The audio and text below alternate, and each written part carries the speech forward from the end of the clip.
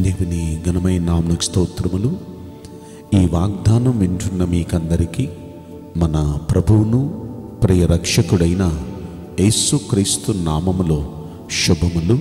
మా హృదయపూర్వకమైన వందనములు తెలియచేస్తున్నాం.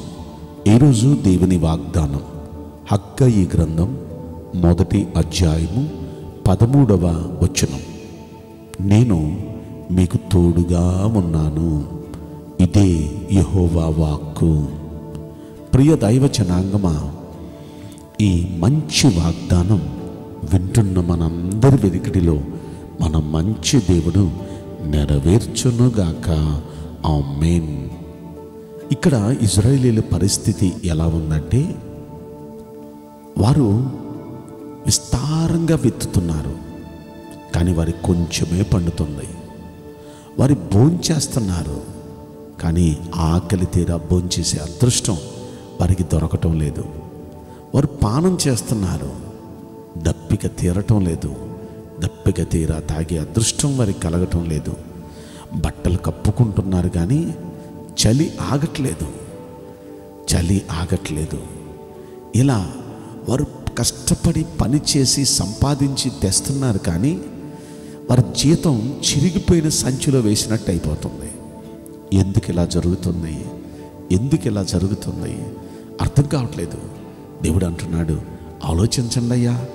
అలా ఎందుకు జరుగుతుందో ఆలోచించండి. అంటూ నాలుగోచులు అంటాడు ఈ మందిరము పాడై ఉండగా మీరు సరంబి వేసిన ఎండ్లలో నివసించుటకు ఇది సమయమా? ఈ మందిరం పాడైపోయింది. ఈ మందిరం దేవుడు ఉండాల్సిన మందిరం. దేవుడు ఉండే మందిరం ఏది? గుడి గోడలు కాదు. మన గుండె గుడులు మన హృదయంలో ఆయన ఉండే మందిరం. ఆయన మనలో ఉండాలని మనతో ఉండాలని కోరుకుంటున్నవాడు ఆయన. ఆయన ఉండే ఈ మందిరాన్ని మనం పాడు చేసి ఈ మందిరంలో ప్రార్థన లేదు. ఈ మందిరంలో ఆయన ఉండే మన గుడిలో మన గుండె గుడిలో ప్రార్థన లేదు స్థుతి లేదు కృతజ్ఞత లేదు. దేవుని వాక్య ధ్యానం లేదు. ఈ విధమైన ఏమీ లేవు. అంతా లోకం పాపం ఈ లోకంలో ఉన్న వస్తువులు వాహనాలు ఈ లోకంలో ఉన్న డబ్బు ఈ లోకంలో ఉన్న మనుషులు ఈ లోకంలో ఉన్న వాటి కోసమే తహతహలాడిపోవటం. ఒక ప్రార్థన ఒక స్థుతి ఒక ఒక దేవుడు అనే ఆలోచన లేకుండా దైవ ధ్యానం వాక్య ధ్యానం అనే ఆలోచన కూడా లేకుండా వీటితోనే నిండిపోయింది. అందుకే అంటున్నాడు ఎంత కష్టపడినా డబ్బు చిరిగిపోయిన సంచిలో వేసినట్టు అయిపోతుంది సంపాదన. ఎందుకు ఇలా జరుగుతుంది? అసలు ఎంత విత్తినా సరే కొంచెమే పండటానికి గల కారణం ఏంటి? ఎందుకు ఈ విధంగా జరుగుతుందంటే భక్తిని నిర్లక్ష్యం చేశాం ప్రార్థనను నిర్లక్ష్యం చేశాం స్థుతి చేయటం నేను నిర్లక్ష్యం చేశాం. అదే వీటన్నిటికీ కారణం. అయితే ఆయన ఏమంటున్నాడు చెప్పనా? ఆయన ఏమంటున్నాడంటే ఎనిమిదో వచ్చుల్లో పర్వతములెక్కి మ్రాను తీసుకొని వచ్చి మీరు ఈ మందిరమును కట్టించిన ఎళ్ళ దాని అందు నేను సంతోషించి నన్ను గనపరుచుకుందును అంటే మనం చేయాల్సిన పని ఆయన మందిరాన్ని మళ్ళీ కట్టించాలి. ఆయన మందిరాన్ని మళ్ళీ కట్టించాలి. మందిరం కట్టించడం అంటే దాని అర్థం ఏంటి? ఈ ఈ రాళ్ళతో కట్టే ఈ మందిరం కాదు మరలా మన జీవితంలో దేవునికి చేసే ఆ ప్రార్థన మళ్ళీ ఆరంభించాలి. మళ్ళీ దేవుణ్ణి స్థుతించి ఆ పద్ధతి మరలా ఆరంభించాలి. మరలా దేవుని వాక్యాన్ని చదవటం వాక్యాన్ని నెమరు వేసుకుంటూ ధ్యానం చేయటం దేవుని సన్నిధికి ఆసక్తిగా పరుగులు తీసి వెళ్ళటం ఆసక్తిగా దేవుణ్ణి సేవించటం శ్రద్ధగా భక్తి చేయటం ఈ విధంగా మనం దేవుణ్ణి మనం నమ్మకంగా సేవిస్తూ దేవునికి శ్రద్ధ భక్తులు మనం కనపరుస్తూ ఇలా ఆసక్తిగా ఇలా శ్రద్ధగా మనం భక్తి చేయగలిగితే ఖచ్చితంగా మన దేవుడు అంటున్నాడు నేను మీకు తోడు ఉంటాను. మళ్ళా మీ పరిస్థితులన్నీ మెరుగుపరుస్తా. మీకు మంచి రోజులు వచ్చేటట్టు చేస్తాను. ఈసారి ఎలా ఉంటుందో చెప్పనా?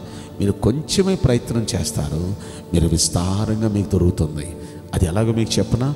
లుకాశుభవార్త ఐదవ అధ్యాయంలో అంతవరకు రాత్రంతా కష్టపడి వల వేశాడు సముద్రంలో ఒక్క చేప కూడా దొరకలా. ఇక పొద్దున్న అయిపోయింది వల కడిగేసి ఇక దోనె దరికి లాగేసి వెళ్ళిపోదాం అనుకుంటున్నాడు. ఆ సమయంలో ఏసై అంటున్నాడు దోనెను తీసుకొని వలవేయ్యా ఇప్పుడు ఇప్పుడు వల ఎందుకంటే ఆయన తోడున్నాడు. ఆయనతో కూడా ఇప్పుడు వల వేశాడు. వల వేస్తే చేపలు ఎన్ని పడినాయో తెలుసా? విస్తారంగా ఒకేసారి వల వేశాడు. రెండు దోణులు నిండి పొర్లే అన్ని చేపలు ఒక్క అటెంప్ట్లో పట్టాడండి. ఒక్కసారి వల విసిరి పట్టాడు. అరే రాత్రంతా అదే దోనే అదే వల అదే రేవు ఒక్క చేప దొరకలేదు. కానీ ఇప్పుడేంటి అంటే రాత్రి తను దేవుడితో లేడు. కానీ ఇప్పుడు దేవుడు తనతో ఉన్నాడు. ఈ రోజున దేవుడు మనతో కూడా ఉంటానంటున్నాడు. ఆయన ఉండే పరిస్థితి ఎంత టోటల్ డిఫరెన్స్ వచ్చేస్తుంది. కనుక ఆయన మనతో ఉండాలంటే ఇక నుండి మనం సీరియస్గా భక్తి చేద్దాం. ఇక శ్రద్ధగా ఆసక్తిగా భక్తి చేద్దాం. భక్తి మ్యాటర్. గుడికి రావాలి ప్రార్థన చేయాలి సన్నిధిలో వాక్యం వినాలి అలాగే వాక్యాన్ని ధ్యానించాలి స్థుతి చేయాలి. ఈ విధమైన ఈ భక్తి ఆసక్తిని మనం కలిగి ఉండగలిగితే పరిస్థితులన్నీ మెరుగుపరుస్తాడు. మంచి రోజులు మనకిస్తాడు. అద్భుత కార్యాలు జరిగిస్తాడు. ఆయన మనతో కూడా ఉంటాడు. కనుక ఈ వాగ్దానం వింటున్న ప్రతి ఒక్క బిడ్డతో కూడా ప్రభు ఉండునుగాక. ఈ విధమైన కార్యాలన్నీ ప్రతి కుటుంబంలో ప్రభు చేయునుగాక. ఆమె నేను మీకోసం ప్రార్థన చేస్తున్నాను. పరిశుద్ధుడా ప్రేమగలేశ్వరాజా మీ పరిశుద్ధ బంగారు పవిత్రమైన నామునకు నిండు మనసుతో కోట్ల కొలదిగా స్థుతులు స్తోత్రములు వందనాలు చెల్లిస్తున్నాం. ఈ వాగ్దానం వింటున్న ప్రియుల జీవితంలో దయచేసి ఈ వాగ్దానం నెరవేర్చి కృప చూపించండి. అయ్యా నీ బిడ్డలకు మీరు తోడుగా ఉంటే వారి పరిస్థితులన్నీ మారిపోతాయి. వారికి అన్ని మంచి రోజులు వస్తాయి. దయచేసి వాగ్దానం వింటున్న ప్రతి ఒక్క బిడ్డకు మీరు తోడుగుండి మంచి కార్యాలు ప్రతి జీవితంలో మీరు జరిగించమని ఈ కొద్ది మనవులు నసుడైన యేసు క్రీస్తు ప్రశస్తమైన నామములో మిక్కిలి వినయముతో ప్రార్థించి ప్రతిమలాడి వేడుకుంటున్నాం. ప్రియ పరలోకపు తండ్రి amen may God bless you all thank you